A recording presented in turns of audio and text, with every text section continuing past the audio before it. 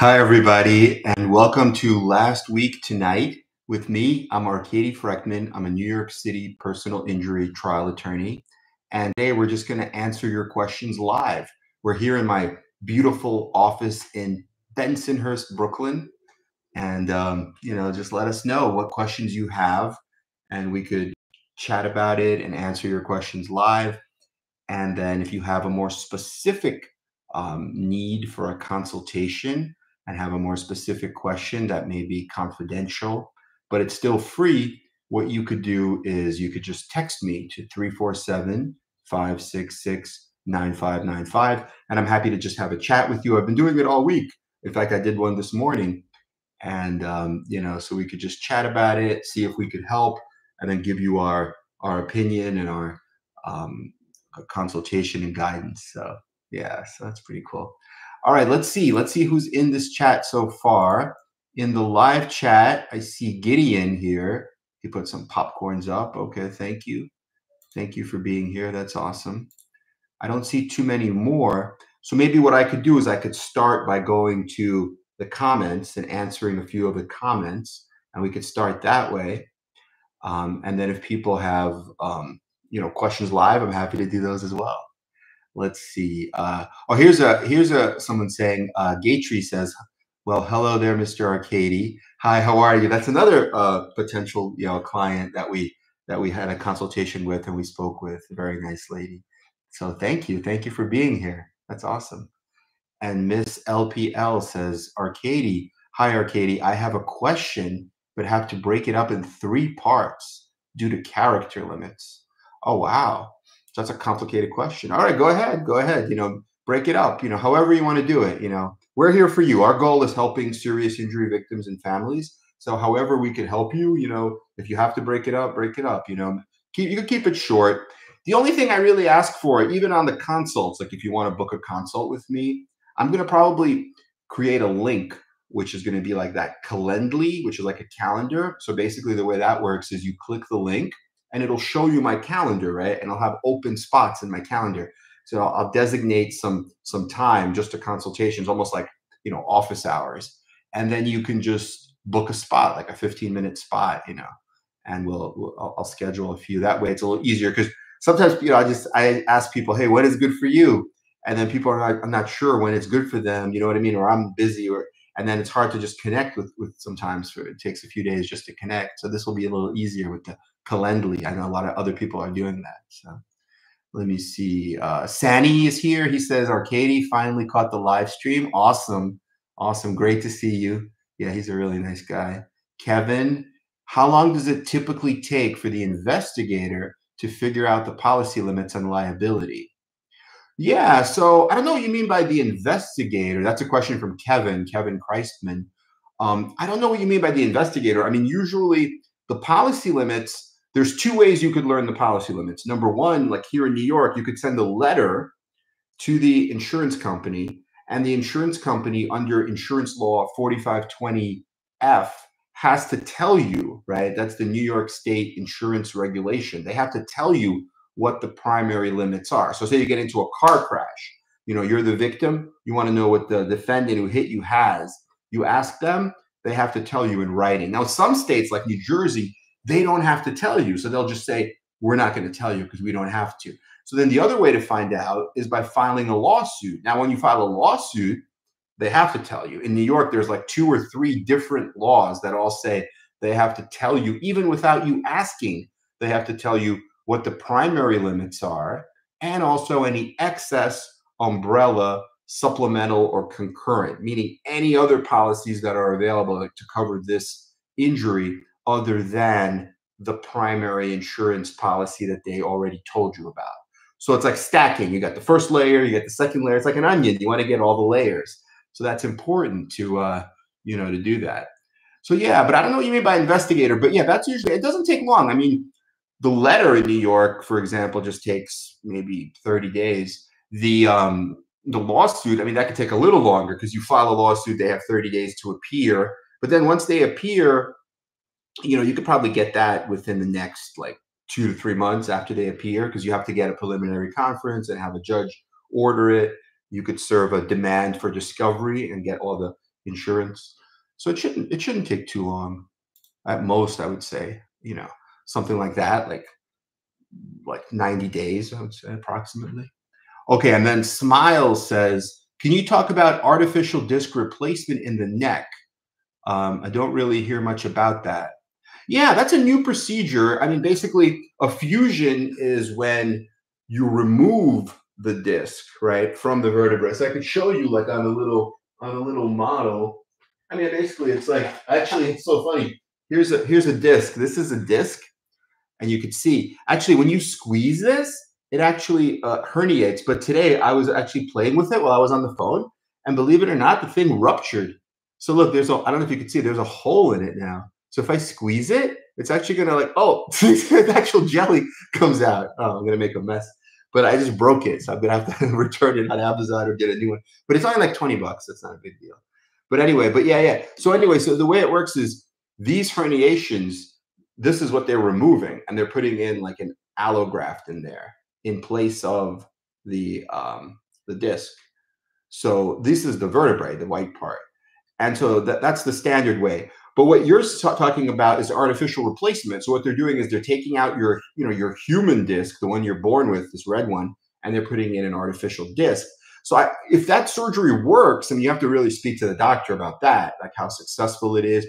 But if that surgery works, I would think it's better, right? Because rather than having this all fused with metal, um, this way you you still are able to bend. You're still able. That, that's how it works when you have a lot of it. You know, you're you're bending. You're you're um, you know obviously you don't want it to be you don't want to get stuck you know where you can't bend because you have rods in your in your lumbar spine or in your neck you have a, a plate with screws and everything's i mean that's the reason they do it because they're hoping that everything will unify or bridge but sometimes and most of the time it does sometimes it doesn't bridge and then you need a, another surgery that's known as non-union that's very very dangerous and very very serious so so artificial disc replacement, I could actually do a verdict search. I don't know, you know, what the verdicts are, but I could do maybe a verdict search because like I said in my, I don't know if you watched that video earlier this week, I talked about lumbar spine uh, fusion surgeries and I talked a lot about verdicts. There was one for like 20 something million. There was one for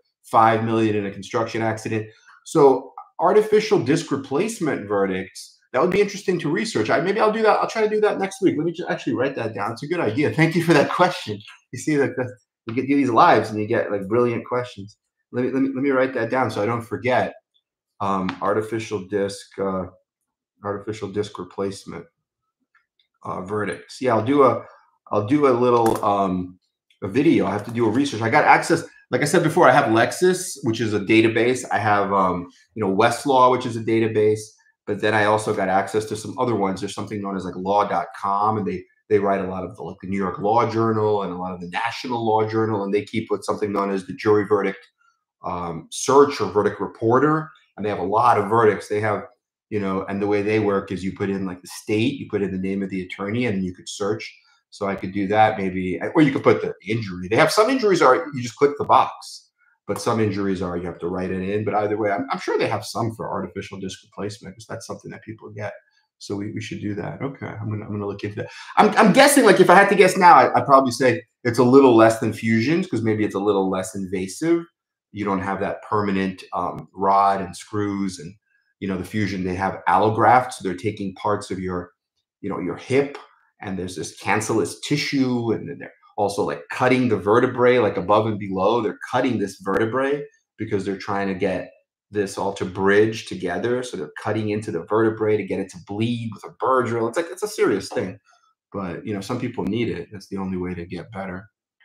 Okay and then leonardo says hello hi. Michelle williams says i've looked everywhere for slip and fall at a business that resulted in quad complete tear and open knee surgery wondering how much that would be.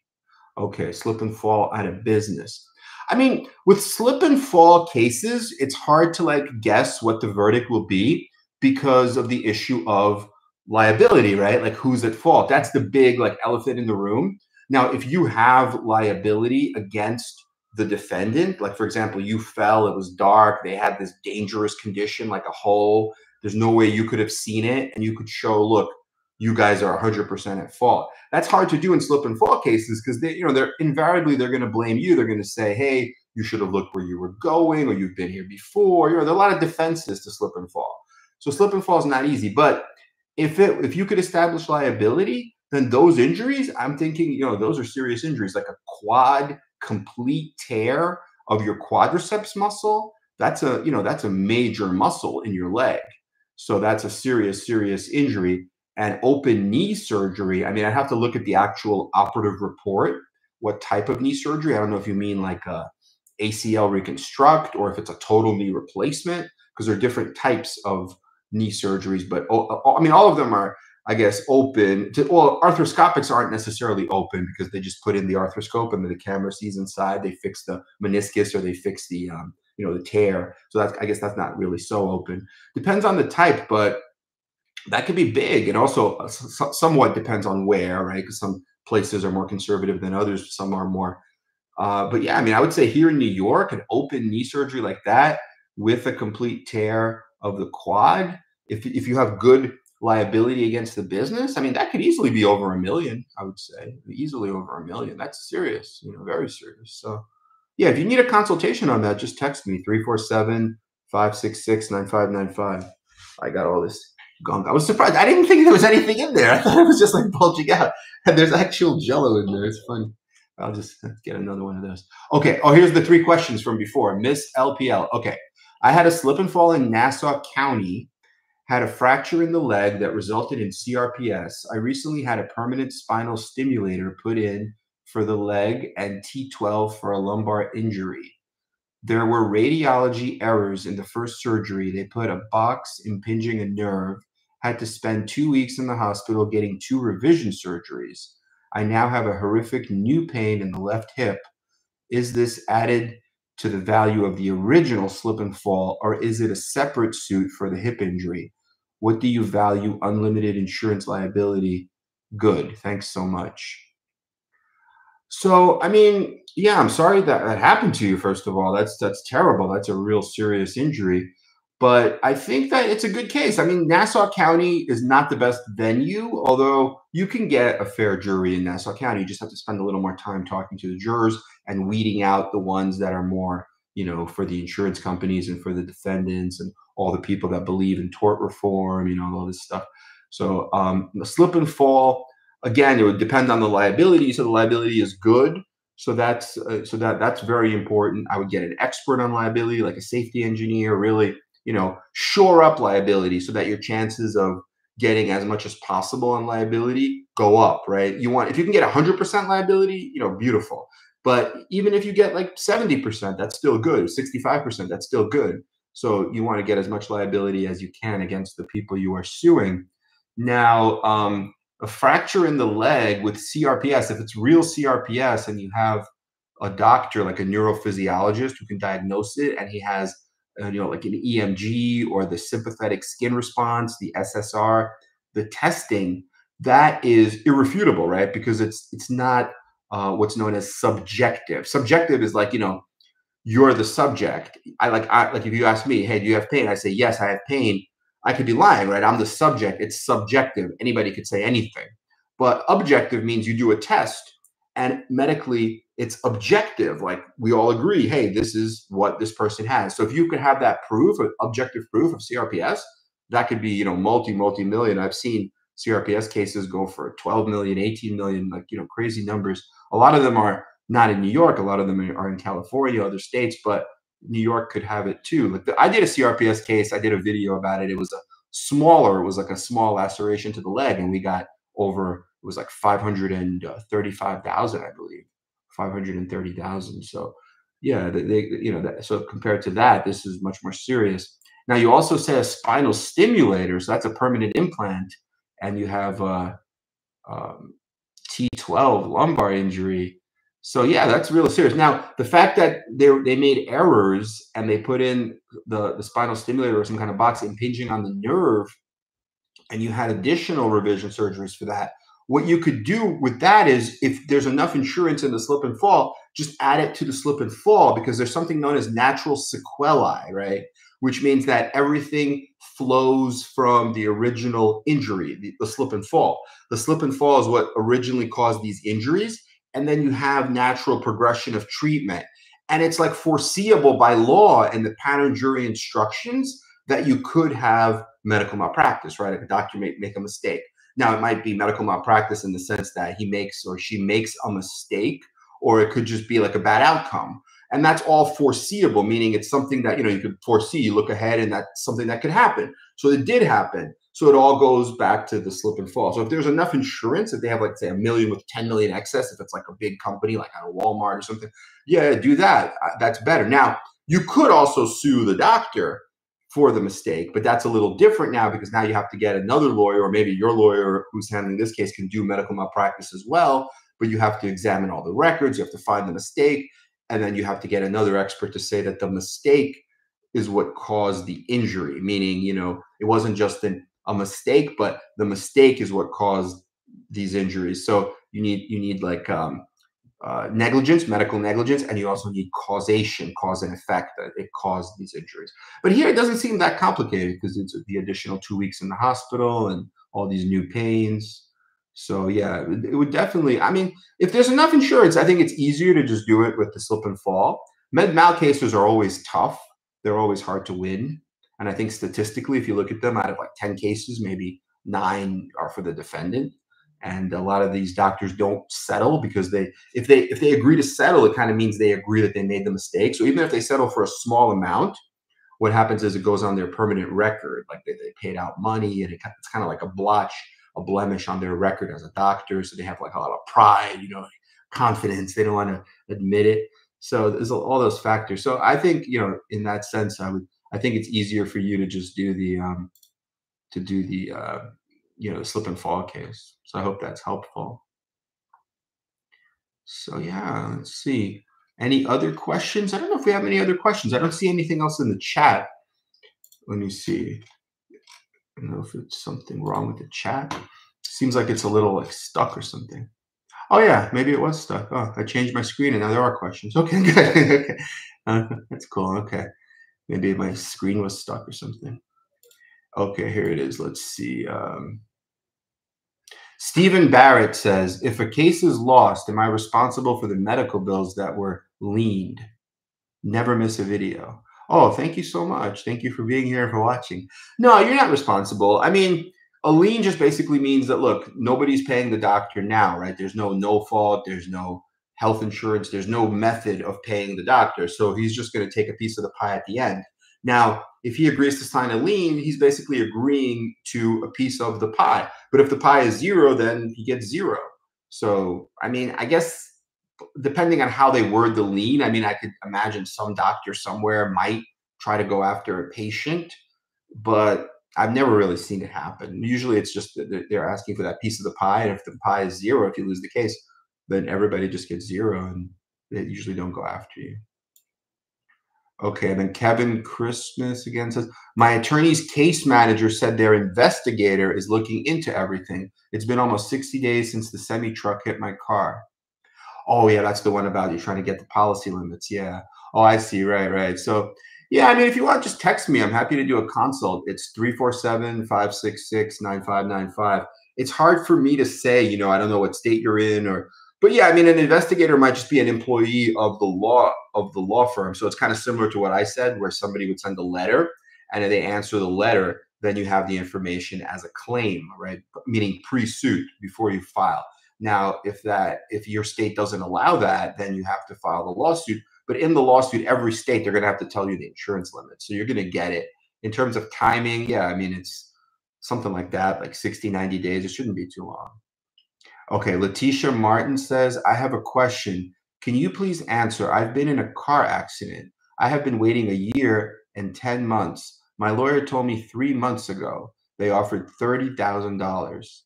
When I call him, no update.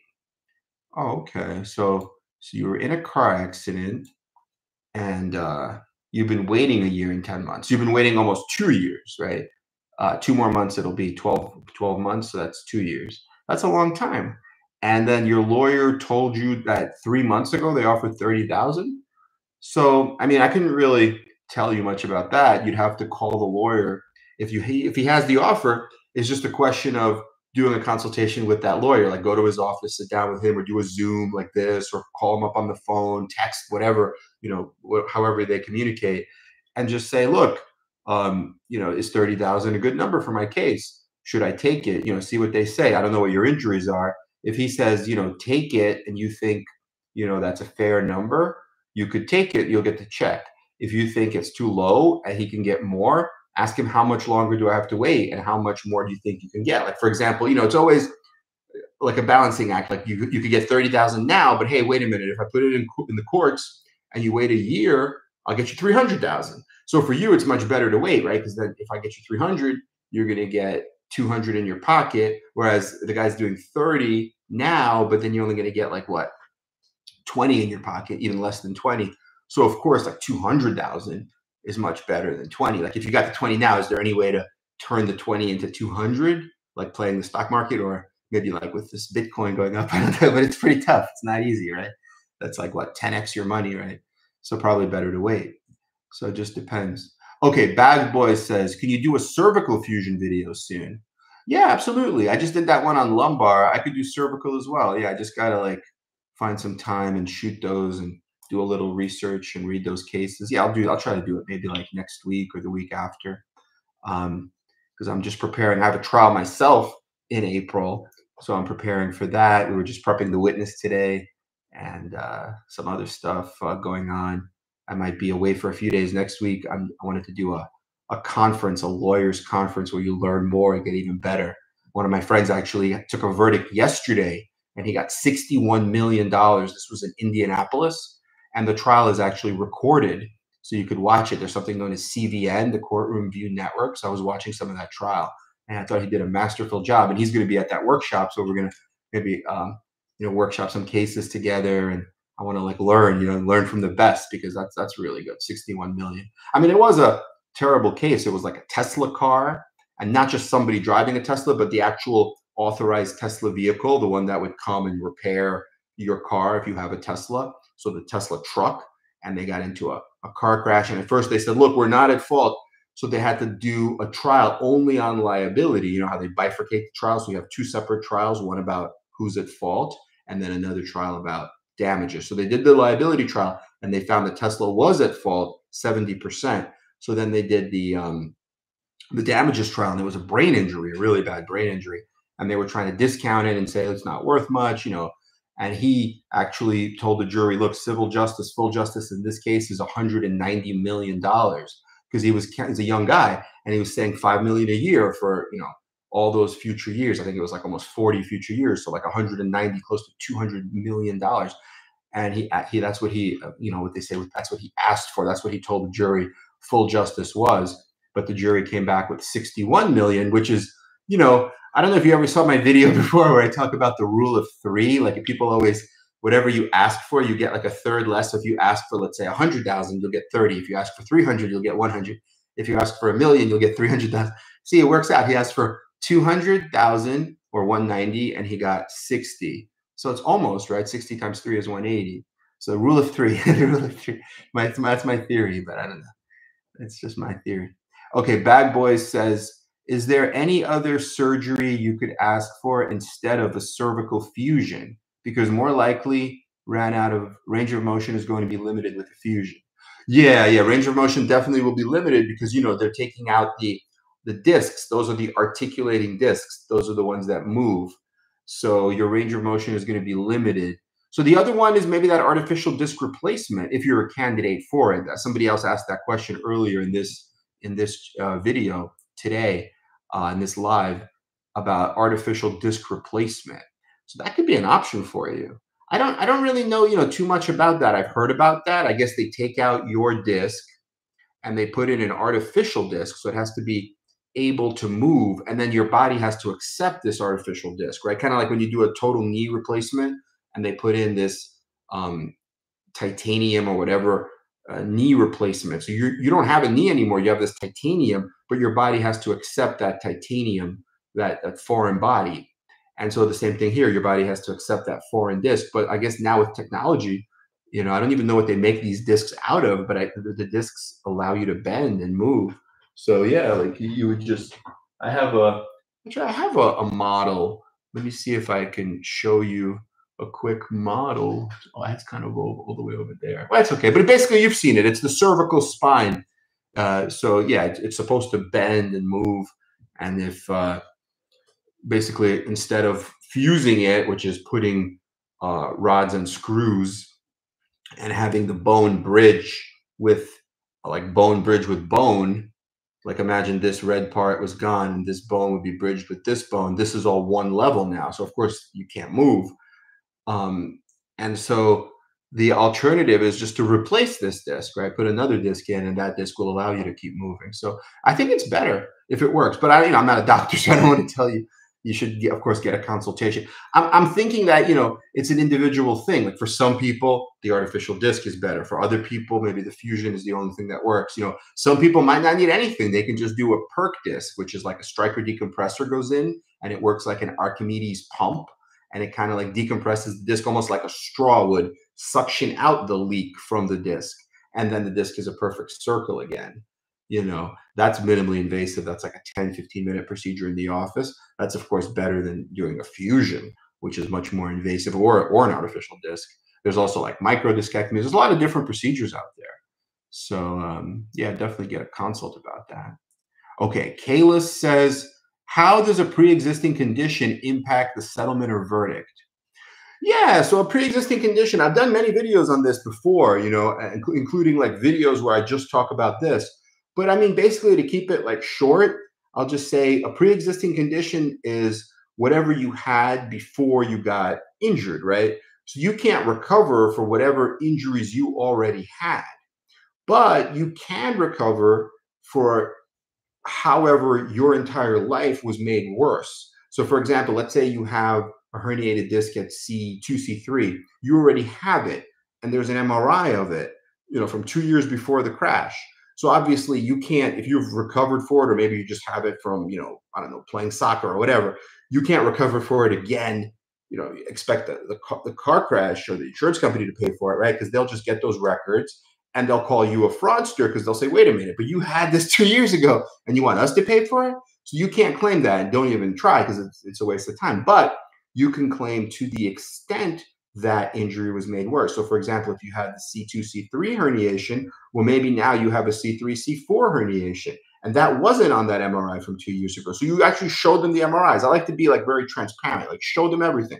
Show them the MRI. Say, like, here's my C2, C3 you know, but now I have C3, C4. This is new, and this is from the crash.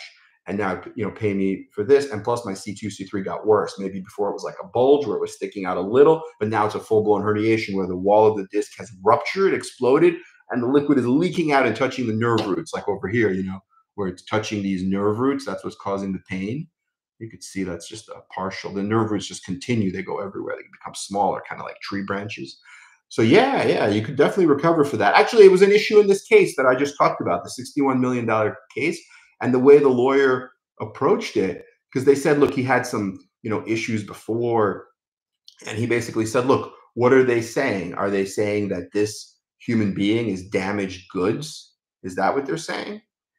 And what about to the extent that they, you know, changed this person's life and turned this vibrant, you know, alive person. He was like a family man. He loved to do all these different things to the extent that they turned him into, you know, somebody gave gave him a lifelong forever injury, right? So I think that's a that's a powerful argument too, you know, because I mean we all have something, right? We're we're born, and as soon as we, we're born as babies, we start to degenerate. And that's the, what the word that the insurance companies and the defense lawyers use, degeneration. But what is degeneration? It's just the normal, painless aging process, right? As you get older, your body degenerates, it's aging. So of course you're going to have something. So you know, so that's yeah, it's an interesting question. I mean, I'll maybe do a few videos. There's another lawyer who talks about pre-existing, and he he couches it as baseline, like your baseline reserves, how much you have in the tank, and also coping, your ability to deal with it. So he basically says, look, if your if your baseline you know is a 10 or a 9 that means you're really healthy you don't have anything pre-existing So then if they hurt you in a crash, okay, you go to a seven or a six, but you're still okay. But if your baseline before the crash, because you already had a prior injury like the C2 to C3 herniation I talked about, if your baseline before was already like a six, well, now they hurt you. Well, now you're maybe down to like a three or a two. You don't have much left to give, right? So your baseline goes down. Your reserves are what you have, are kind of like reserves in the tank. You don't have any reserves, right? And then you're coping. How are you going to cope with this? You, people can cope with a six, but it's very hard to cope with a two. There's almost nothing there, right? So a, if you spin it the right way, right? If you frame it the right way, like a picture frame, right? You got to frame it the right way to a jury.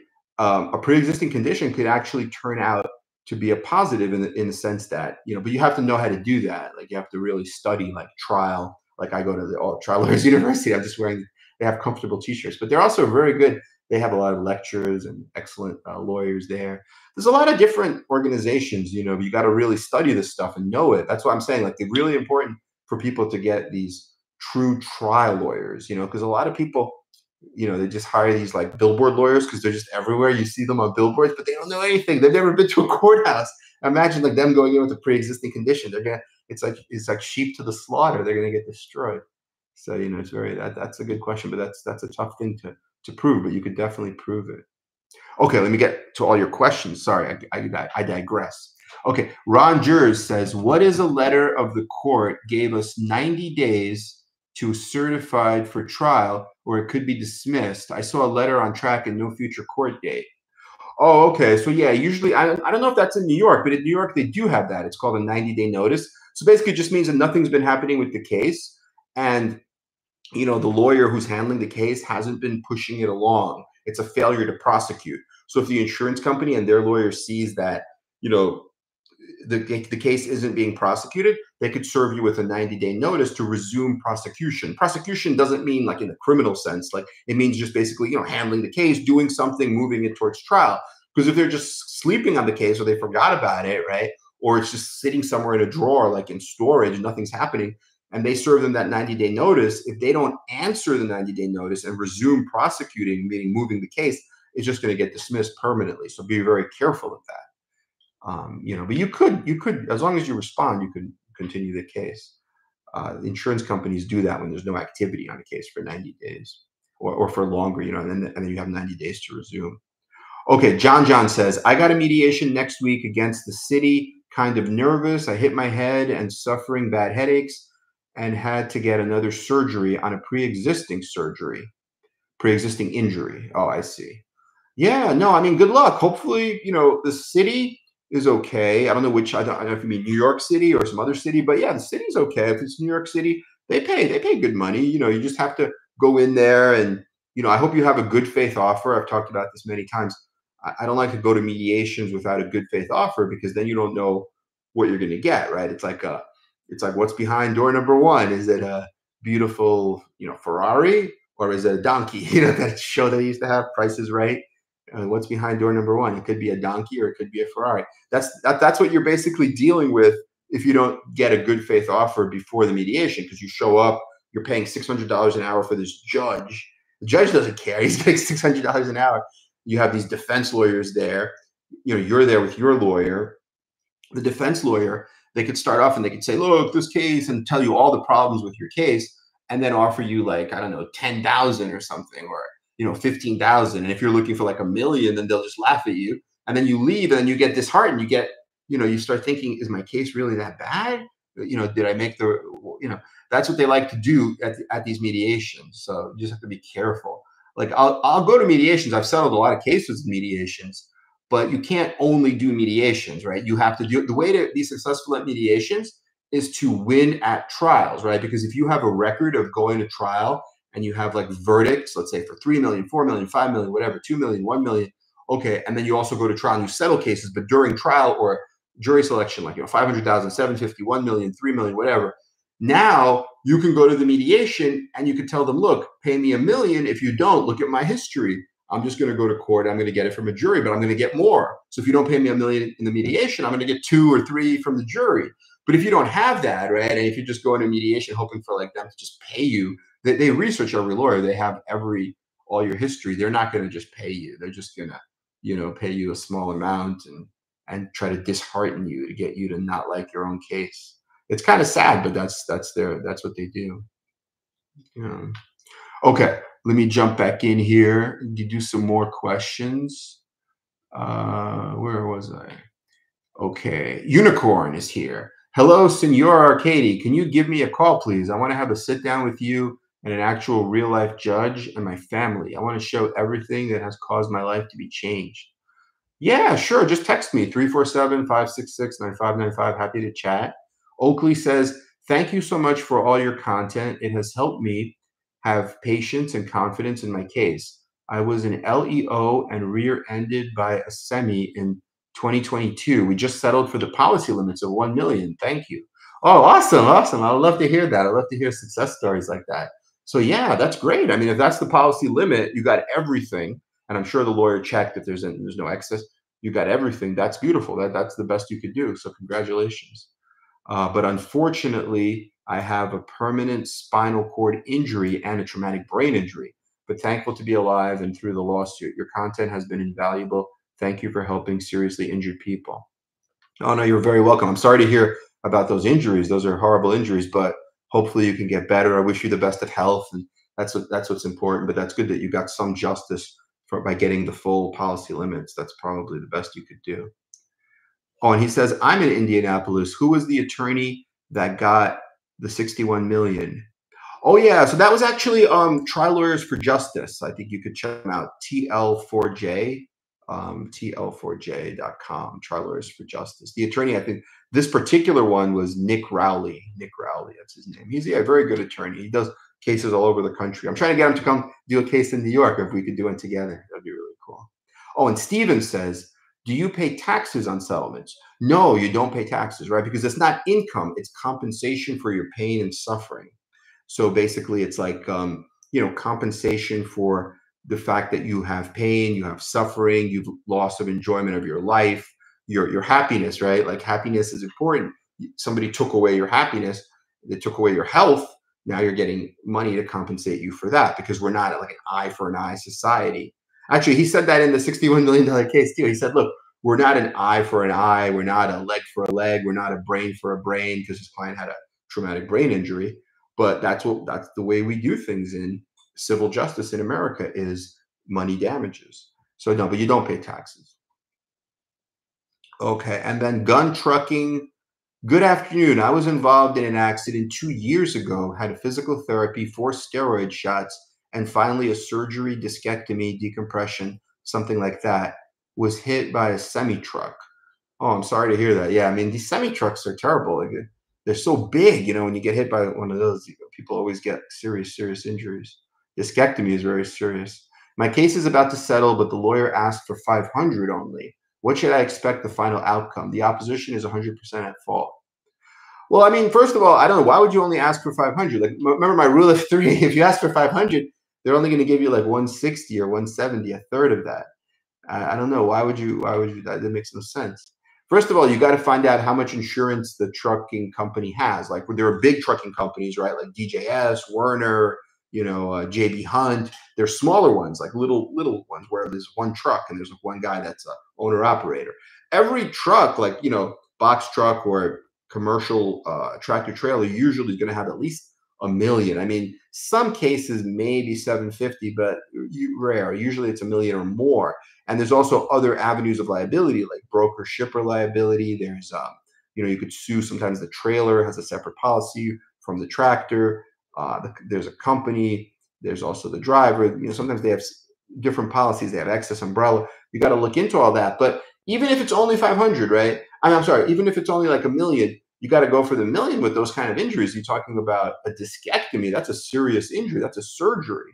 Are you talking about a full blown discectomy or a percutaneous? But even even if it's a percutaneous, which is with the Stryker Dekompressor, I got a verdict on a percutaneous in Manhattan, which is a conservative venue for 548,000. But if you're asking for 500, they're going to give you less. You see, so you got to ask for a million. I mean, even if you ask for a million, they're going to give you like 300. But then you could negotiate up if that's all they have, meaning a million, but there's no excess. If there's excess, you could ask for more. Or you could do it my way. You know, you don't have to ask high and have them drag you down. You could also just say, look, I examined the case. Here's your limits. You have a million, you have 3 million excess, whatever it is. And, you know, the value of this case is 2 million, pay the 2 million. You have 30 days. If not, we're going to court. We're to ask for 3.5. And then they'll go crazy. They'll give you, they'll give you money. And they might not give you the full ask, but they'll give you significant money that way. That's, uh, that's the best way to do it. That's the window of opportunity, like a settlement window of opportunity. And it's only for like 30 days, right? And that's how you set up bad faith.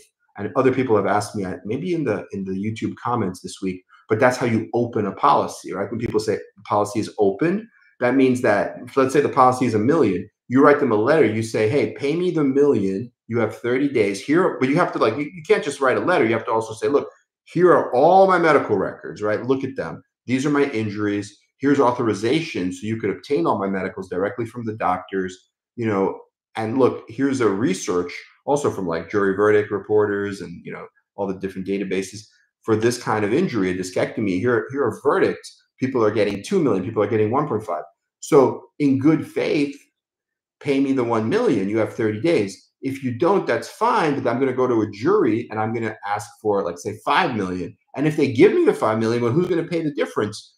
You have a duty of good faith and fair dealing to your policyholder, right? The trucking company and the truck driver, because they purchased insurance policy and they did, they're paid premiums for many years. And they pay these premiums because if something like this happens, like an unfortunate crash like this, that they have coverage but you're refusing to honor that contract, right? Because I'm giving you this opportunity, this window of opportunity, 30 days to pay the million, but you're saying, no, you're not going to pay it. You're going to offer me, you know, whatever, 20,000, 200,000, doesn't matter. So now, once that window has closed and the opportunity is over, if I get the 5 million, a lot of states, it depends on state by state law, but a lot of states will say, well, that's bad faith. You've now opened the policy and it's open, meaning there's no there's no ceiling on it anymore. So even if you get like, you know, I don't know, 40 million, they have to pay the full 40 million. So that's, you know, that's what, so I don't know, you know, but, but yeah, feel free to text me about that if you wanted to do a consult. 347 566 9595. Okay, Two Toy Records says, Hi, I was wondering how successful is arbitration for UIM, UM, in a Lyft accident? Do you have to do a deposition for arbitration? Yeah, it depends. I mean, sometimes I'll ask you for a deposition. Uh, a lot of times they will. How successful it is, I mean, I don't really like arbitrations because it depends on the judge, right? You get one judge. So if you get a judge that's like more plaintiff friendly, you might get a good result. If you get a judge that's more insurance company friendly, you might get a really bad result. A lot of these judges, they just want more work. So they just kind of like split the baby and give you something like not something that you can get from a jury, but not something terrible either, so that both plaintiffs and defendants will just continue to use them. See, everybody's thinking about their own self interest. But really, I mean, so I don't know. I just don't like. But if you sometimes you have to, sometimes you have to uh, do uh, these uh, you know arbitrations because sometimes that's the only option legally. So okay, and then John John says I was rear-ended by a city truck, left me with a bad headaches. I take Botox every three months on top of other injections, and also had to get another surgery on my knee. Oh wow, that sounds like a big case. Yeah, a city truck, and if if it's a bad headache where you have to take Botox injections, you should probably get a, neuro- a good neurologist that knows how to do a brain injury workup. And then what you could do there is you could get neuroradiological testing, like a, MRI, like a 3T MRI of the brain with diffuse tensor imaging, some other testing, you know, depending on what type of injury you have and what the doctor um, believes. There's fMRI, like a functional MRI, where the MRI tests various functions that you're doing. And then based on that, you know, uh, you have a lot more evidence. If you can prove a real brain injury, it could be a multi, multi million dollar case. Okay, Letitia says, my lawyer told me 30,000 is not enough money to recover my medical bills. I had three fusions. Oh, wow. Yeah. If you had three fusions, I mean, you can't, 30,000 is nothing. Yeah. It's worth a lot more. Find out how much insurance there is. And then you should just get the insurance limit usually. I mean, three fusions is, is tremendous. That could be like, uh, you know, 5 million or more easily. It could be many, many millions. Yeah, if you need a consultation, just text me 347 566 9595. I'm going to be around tomorrow and maybe over the weekend a bit and uh, next week too. Um, yeah. Okay, Bernie says, Hey, I'm the guy who has the herniated disc and I settled with Amazon for the full insurance amount. That was about a month ago. How long does it take to receive the check? I mean, usually just like 30 days. The only way it can get delayed is if there are a lot of like these liens, like for example, Medicare, Medicaid, I don't know, like workers' comp liens, uh, liens from doctors, you know, because even once the attorney receives the check, now the attorney has the check, right? The attorney puts the check in their escrow account. So that's a special account for the client. The attorney, you know, can take their legal fee, their one third or whatever they're charging you, their 40%, 33% out of there. But all the your money is in there. But now the attorney or somebody in the attorney's office has to start calling all these lien holders, these people that have an interest, and negotiating with them and you know trying to get them to come down. Because, for example, a doctor might say, "Hey, my lien is fifty thousand. But if you call them and speak to them, maybe they'll lower it to nineteen thousand. So they're saving you money. But so so it's a good thing for you because then you're going to get more money, right? But the bad thing is that it takes time because you call them, they don't pick up. You leave a message, they don't call you back. Then you forget, then you have to follow. So so you know it's it's like time versus money. You know what I mean? Like you want you want to call all these liens to like lower them, but at the same time you want to get your client paid as soon as possible. So that's that's actually an important role in any law firm is the lien negotiator. There are actually companies out there that do that too.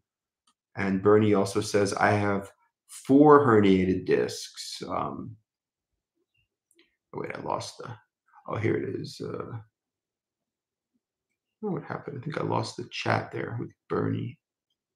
Oh, yeah, I have four herniated discs and have a TBI and mild aphasia. So I was very happy with the settlement, but it's taking a while to actually receive the payment. Is a month a good time frame to get paid? Yeah, usually a month, I would say, about a month. Like, like I said, but if there are liens, it could be a little longer.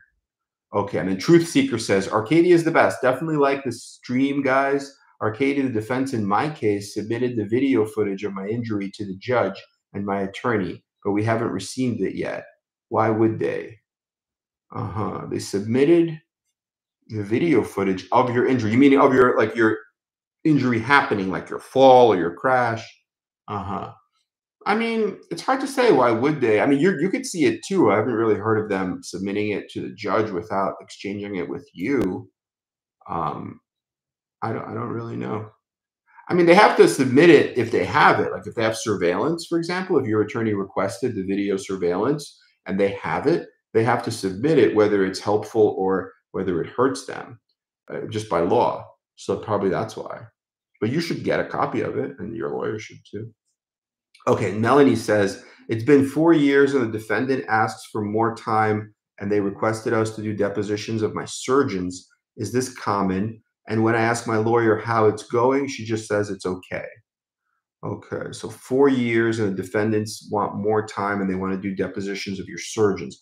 Yeah, I mean, depending on what state you're in. Like in New York, we don't do depositions of surgeons. We just exchange their reports and then we just depo- we just question them at trial. So, for example, if a defense uh, insurance company lawyer, defense lawyer will have a deposition. Uh, they, they, they won't take a deposition of a treating doctor. They just they're just bound by the medical records. And if they exchange an IME report, meaning a defense medical exam, um, you know, I don't get a deposition of their IME doctor either. I just get his report or her report. It's usually like two or three pages. I could send a watchdog to the IME, but I don't get the deposition. And then at trial, I just have to cross examine them based on their report. I can get past transcripts where they've testified at other trials. Other states have depositions of doctors. Many states do. So you're probably not in New York, probably in another state if they're asking for to do a deposition. But yeah, if the, as long as it, the, the, state law allows it, you know, of course they, are entitled to it. Um, it's fine. It's just deposition is just part of discovery. It's it's fine. It's just uh, I'm sure the doctors know how to handle it, so it's not gonna it's not gonna be a big deal. Okay, and then Bernie also says, oh no, we, we did that one already. Okay, Bad Boy says, when you settle for a high amount of money, do you get all of your money or is it in bits and pieces?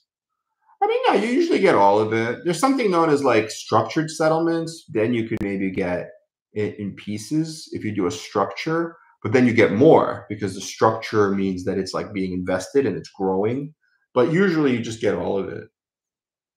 Okay and then unicorn has a big number. I don't even know what that is. 100 billion trillion gazillion. Sounds good to me. Okay and matthew says is it standard practice for oral argument when going for summary judgment in a labor law case?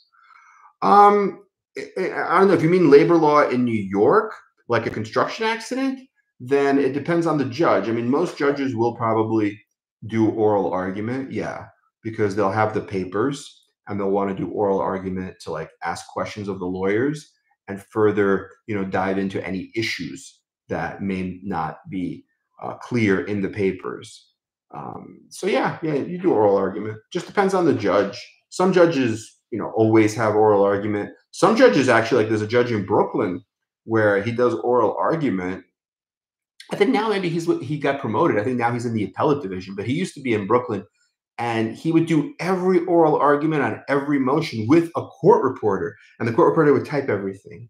You know, so that most judges don't do that. Most judges just do oral arguments and uh, but yeah, it's it's fine. It's standard practice, I would say.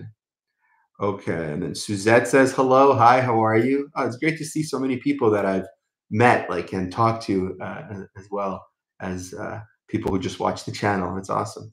And Hans is here. He says, one year and a half after my accident, discovery in a few weeks, but my lawyer told me the insurance hasn't offered a penny for my case. Defendant lawyer denies everything. Does that mean my case is bad? Well, no, it doesn't necessarily mean your case is bad. It just means that you know it can mean a lot of different things. It's hard to say. I mean, the real, the real, the best way to really determine if your case is bad is to think about like what happened, right? What are the facts? Is it a car crash? Is it a slip and fall? Who is at fault? Like sometimes people are at fault themselves. Sometimes the defendant that you're suing is at fault. And then number two, what is your injury? What is the damage to your life? How has your life changed? What was your life like before? What is your life like now after this happened? You know, the difference, kind of showing the two roads. If you could show all that, then it's it's not a bad case. But you know, the defense lawyers they're they're doing their job. They're defending. It also could be the lawyer, right? The lawyer is not a good lawyer or is not handling it properly. They might not be able to get a good offer.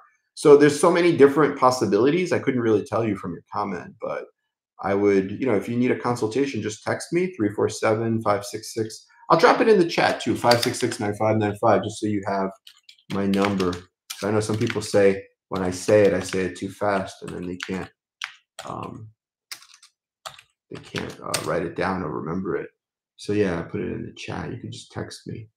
Yeah, the important thing to remember also, if you text me, just give me those three things, right? The facts um, and the injuries, and also, you know, give me your name and your uh, your city that you're in. If I have those, those actually those four things, right? Name, facts of what happened, almost like you're watching it in a movie, so you can see it. It doesn't have to be long; it could be like a sentence or two. But like if I could see, I see your name. Like my name is John. I got hit by a tractor trailer in the rear on the highway. I'm in, you know, whatever Alabama, and my injury is I have a fusion in my neck. Okay, that's all I need. You know, I could give you a consult. But like sometimes people just start texting me, texting me these long things. Like you know, I'm sorry, but I just can't like you know sit there reading like you know pages and pages of texts. I just have so much going on. So I try to respond to everybody. I think I even respond to the people that do the long ones, but it's better to just do the short ones. It's just so much easier for me than I could like take a note, you know, put it in my calendar, know what I'm talking about, who I'm talking with, and plan everything out so I can give you the best consult. Then it's better for you. Okay, let's see. Andre says, Hey, what's going on? How are you? He says, Appreciate you taking out the time to answer my question. My wife was hit by an 18 wheeler in December. Come to find out, he did get ticketed and the insurance company did take fault. Yeah, I'm sorry to hear that. They do have a million dollar policy. What do you think is the outcome of that? Also, she had a herniated disc. She got a concussion throughout this process, and she has PTSD and everything else. Yeah, I mean that's that's I would I, I mean I don't know what city you're in, but again, the, the better just text me because you know, it's kind of hard to say just from a comment, right? But I mean, look, if you have true TBI with PTSD, that's post traumatic stress disorder, that happens. You know, I did a video about that too. If you search like my name and PTSD, you'll probably see it. And I go through all the all the implications. But a PTSD could be as valuable as a true TBI, which is a traumatic brain injury. And your brain is like everything, right? It's your executive function, it's your memory, it's your emotions, it's you know, it's everything, right? It's your brain. If that's how you live life. So, I mean, that could be many, many millions. I mean, absolutely, depending on what city it's in. And remember, if they say they have a million dollar policy, you have to check for excess and umbrella. They could have a million with a 25 million excess. Then you don't want to settle for a million, then you're giving away 25 million. So you got to be very careful. Okay, Nikimi says, "Hello, attorney. His long or how long should after deposition should attorney take to send settlement offer?" I mean, after a deposition to get an offer, there's not really any set time. I mean, you can settle a case and get an offer before the deposition. You know, it's there's no set time. Really, the only reason you're doing the deposition is because the people involved, the lawyers, the decision makers, the adjusters. Remember, when you're going up against an insurance company, it's not just one adjuster, it's one adjuster assigned to the file. But that adjuster might only have authority for like up to 100,000. Then they have another adjuster from 100 to 500. Then they might have another adjuster from 500 to a million. You see what I'm saying? And it keeps going up. So there might be a, a lot of adjusters. There, there might be an excess adjuster that's responsible from like a million to 5 million, right? So what they want to see is they want to see all the pieces of the puzzle. If you could show them, like, what are the facts? Is this a good witness? Is this person answering the questions being posed? That's why they want to do your deposition. They want to know, um, you know, are we liable? Are we really at fault? Do we really have to pay? If this goes to court, are we going to have to get are we going to get a jury verdict against us? And we're going to have to pay a lot of money right? Because we'd rather settle for less now than get hit for more later. Because between now and later the only thing that's going to change is i'm going to have to pay this defense counsel like you know three four hundred dollars an hour for all the and he's billing me every week or every day for all this hourly work he's doing right? So they just want to know about your case. So once they can see hey yes the facts are against us we're we're liable. This person has a, an injury, like they have like this other person has PTSD, or they have like a fusion, you know, three fusions someone had, like something like that. Oh my God! Of course, they'll, they'll want to settle with you. The only time they don't settle is if they think maybe I can get out on summary judgment. Maybe the injury is soft tissue, so I could pay less. I could just pay like you know ten grand, or I could pay nothing. So that's usually what it is. Okay, Hans says I was rear-ended with serious injuries, no broken bones plus diagnosed with depression, one year physio twice a week, still no offer from the insurance. Yeah, I'm sorry to hear that. But, you know, a lot of it depends on, you know, when you say serious injuries, like what are the injuries? You'd have to really like do, deep, do a deep dive and look at the injuries, you know, where, what city you're in.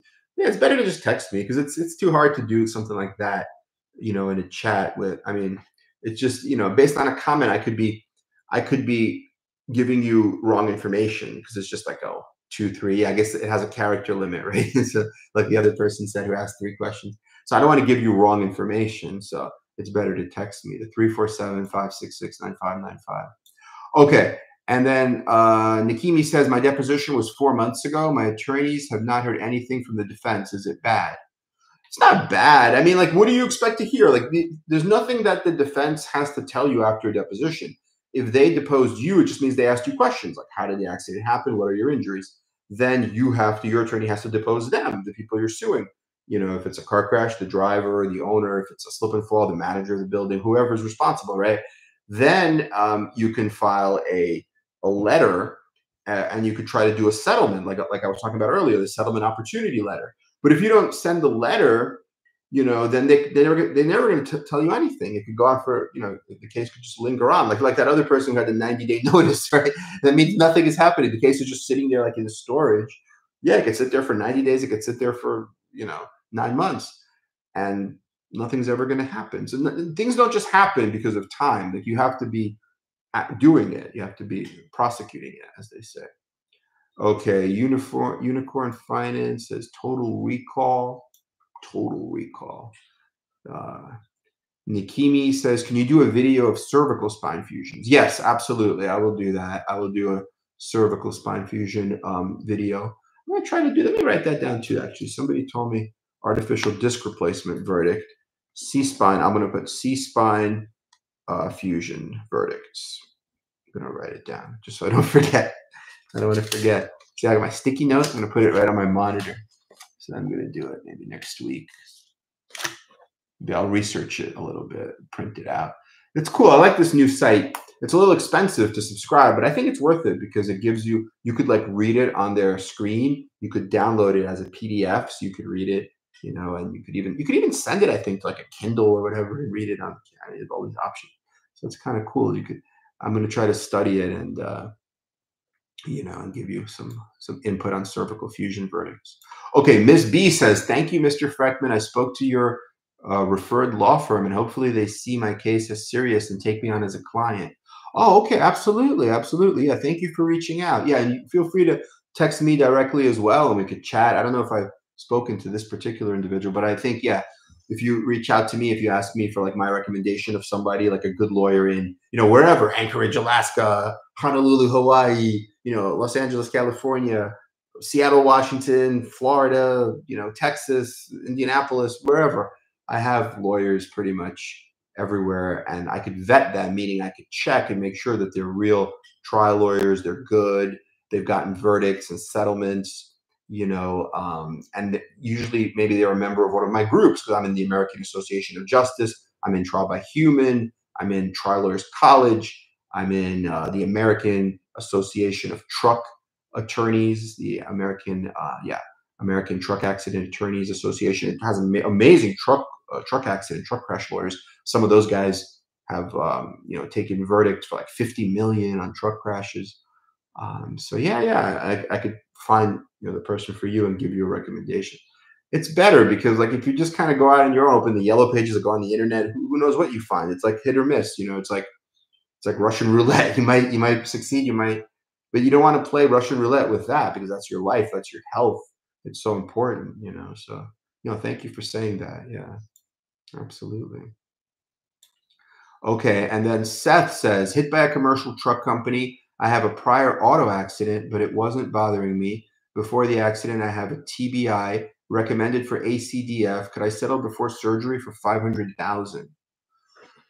I mean, it's possible, depending on where you are. Oh, and I also had multiple injections and radio frequency ablation that didn't help. Yeah, I mean, I think you could. I mean, you know, you'd have to probably file a lawsuit if you're looking for like half a million in most jurisdictions. Depends on the jurisdiction. But if you're hit by a commercial truck company, as long as they have enough, they should have enough. You know, commercial truck company should have at least a million or more. Um, so, uh, so you have a traumatic brain. But I don't know. I don't, I'm not. Really, I'm not sure. I'm following what this says though, because I have a prior auto accident. So you're saying before you got hit by this commercial truck, you had another auto accident, but that wasn't bothering you. And then he says, I have a TBI. I mean, a TBI, like I said before, a TBI is worth multiple millions oh, I see you're recommended for the ACDF, but you you don't want to get it. Yeah, you could still. I mean, if you have a true TBI and it's proven medically, uh, along with the need for an ACDF that you're not going to have, that could be worth way more than five hundred thousand just by itself. Okay, and then the next question is from B. Normally, how long does it take for an attorney to negotiate medical liens after the settlement documents are finalized? Oh yeah, we just talked about that. So there's not really a time frame. It depends how many liens there are. If there's like one lien, it could be one phone call, ten minutes, right? If there's a lot of liens with like Medicare, Medicaid, you know, like uh, workers' comp, uh, then it could be months because it's just it, it's hard. Like Medicare, you, there's no one to call. You have to submit a form. It's the federal government. They might not just respond. They have like 90 days or 120 days to respond. It's such a bureaucracy. Just wait for them. So just you know, it all depends. But usually, if it's like a simple lien, like a doctor has a lien, you just call them up. Like I had a case when I settled my case that I did in the Bronx for three million five hundred thousand. I had this one doctor. He wanted fifty grand. We just called him up. We said fifty grand, doctor. He's like, okay, I'll take nineteen. Okay, what's better for the client, right? The client. I just saved the client thirty more grand because the client, you know, even even at three point five million, you know, people sometimes borrow money from funding companies. People have liens. He wanted a certain number in his pocket and we were trying to get him that number, and we were successful. So he was really happy at the end. But you have to do that with the uh, with the liens. Okay, so we did the the question about the liens. Um, Unicorn Finance says, as far as I know, 2024, no one can see in the dark. No one has night eye vision. Okay. Yeah, I guess, I mean, night eye vision, I guess they have those glasses, but I don't know if they work. The military maybe has those. Jetwing says, Hi, Arkady. My pain management doctor has suggested a procedure that heats up the bulging discs with a hot needle. Are you familiar with that? That might be like a radio frequency ablation, I'm guessing. It doesn't like heat up. What it does is I think it burns the nerve, right? Because like you have the herniated disc, the herniated disc is leaking and it's touching the nerve. So then if you burn the nerve or you burn that, then like you don't feel the pain anymore because the the pain fibers that cause the pain just get burned. Uh, that's my understanding of the radio frequency ablation. I don't know if that's what you're talking about. you wouldn't want to like heat up the disc. Uh, that wouldn't make sense because heating it up, you know, because the disc, the disc is like a jelly donut, right? So you just want the jelly to be inside the donut. If you squish it, like I did today, I don't know if you saw that part of my video, but I squished this thing, which was this used to pop out, and now if I see there's a hole in it, and now when I when I squish it, it actually actual um this way actual liquid now comes out because there was liquid in there and i guess i squished it too hard. I was talking on the phone somebody i was walking around and i just squished it and the whole thing popped out so now it doesn't work. But that's how you know jelly donut like you want the jelly inside the donut.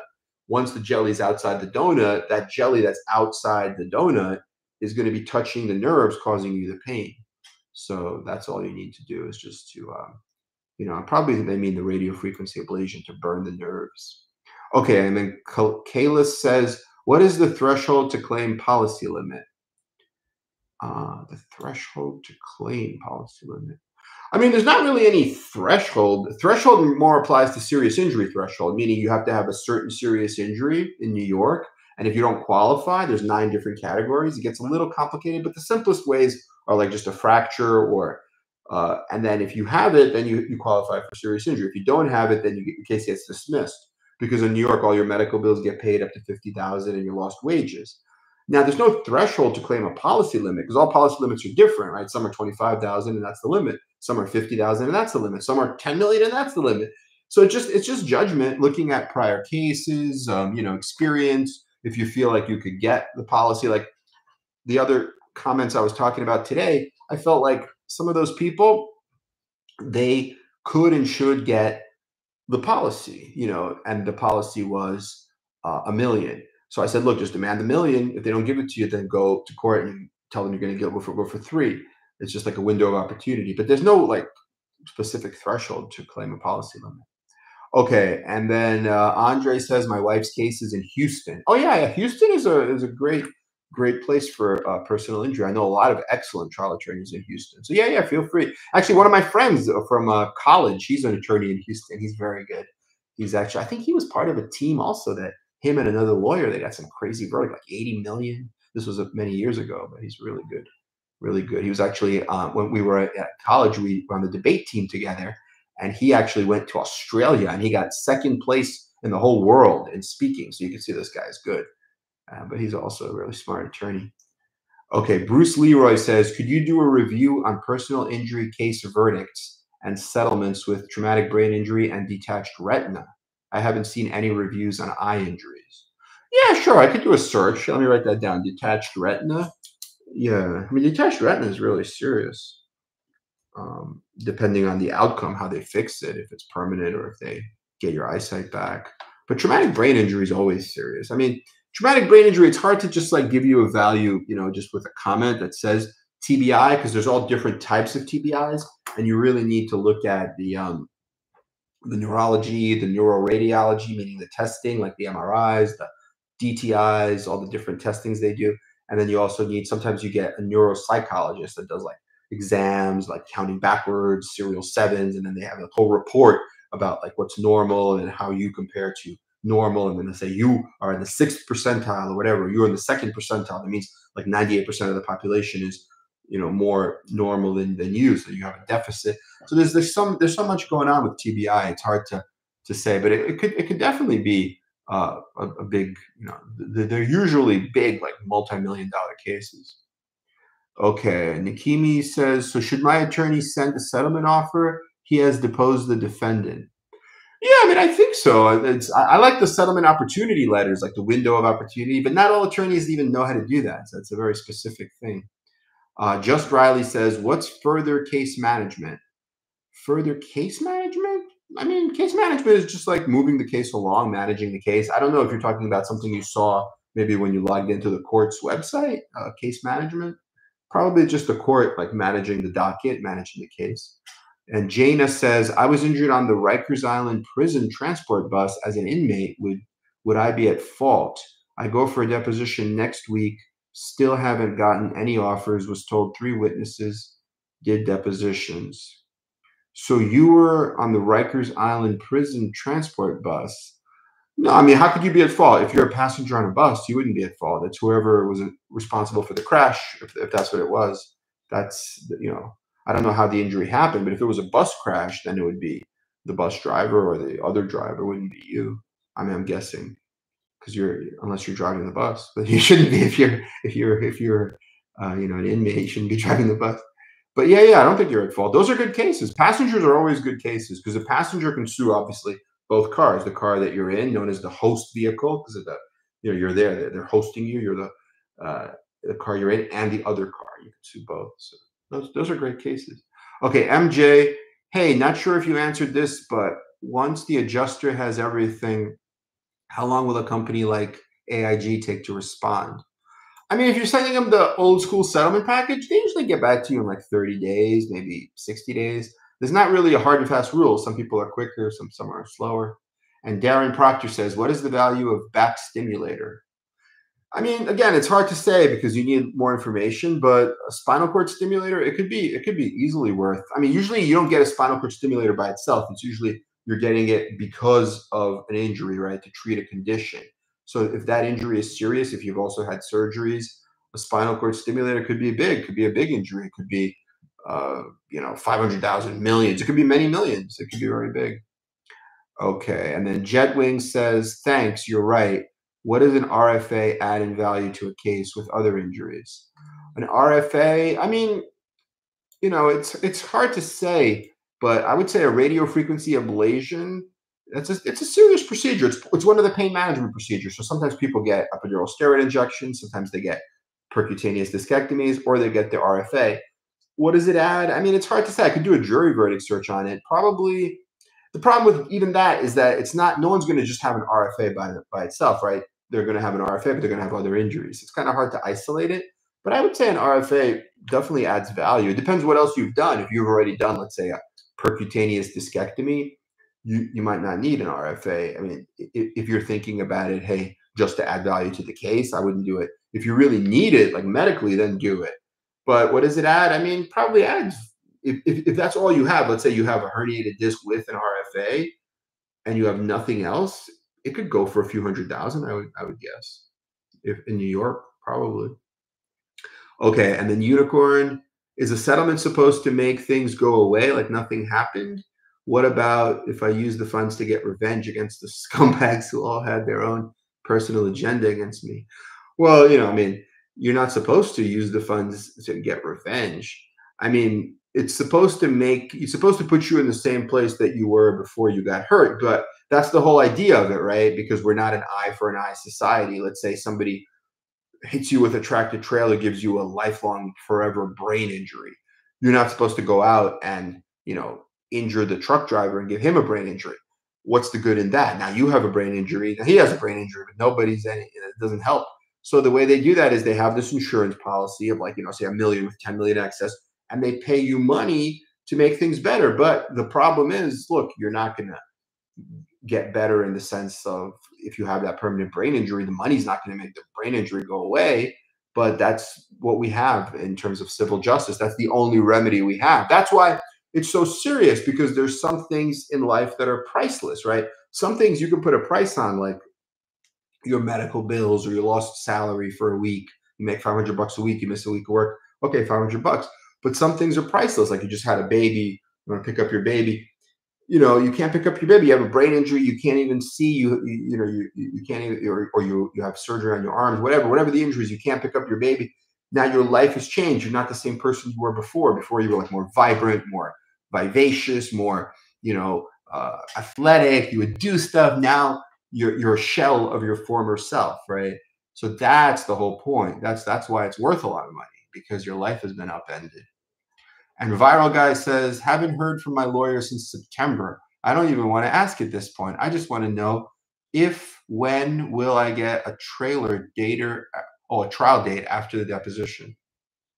I mean, I would call them if you haven't heard from them, that's not a good sign because they're supposed to be your counselor. They're supposed to be speaking with you.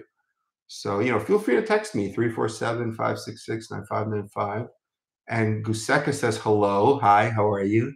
Uh, TBI concussion herniated disc. Yeah, TBI, I mean, like I said before in this live, TBI is very serious. And what is the policy limit for a private school? Darren asks. I mean, each each private school will have their own, but I would guess a private school should be should be a lot. Should be at least a million, probably more. But you know, each school is going to be different. Okay. Here's one more question. Okay, we'll do one more question. I gotta go because it's been on too long. Two toy records. Arkady is a chiropractor neurologist, a good doctor to diagnose daily headaches. I've been diagnosed with daily headaches by a chiropractor neurologist and PTSD by a neurologist. Is that evidence enough?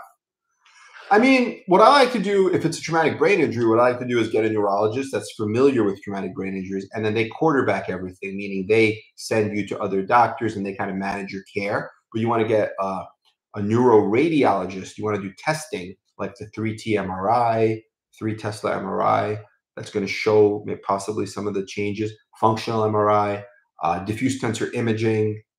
There's also neuroquant. There's a lot of different testing. There's arterial spin labeling. There's uh, you know, there's a lot of different testing. It depends on what you need, what the doctor believes will be beneficial, and also there is uh, you know neuropsychologist where you kind of sit and you do those tests and you spend like a day or maybe multiple days with them, and then they write a comprehensive report about all the different you know your learning style, your executive functioning, your memory, like everything. It's very complicated, but you know, the, the, the, doctors know how to do that.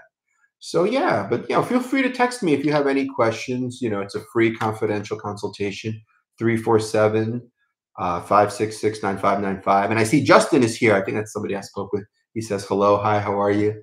So all the best to everyone. Please like and subscribe to our channel. We are here for you. Our goal is helping serious injury victims and families. All the best. Have a great night, everyone. Bye-bye.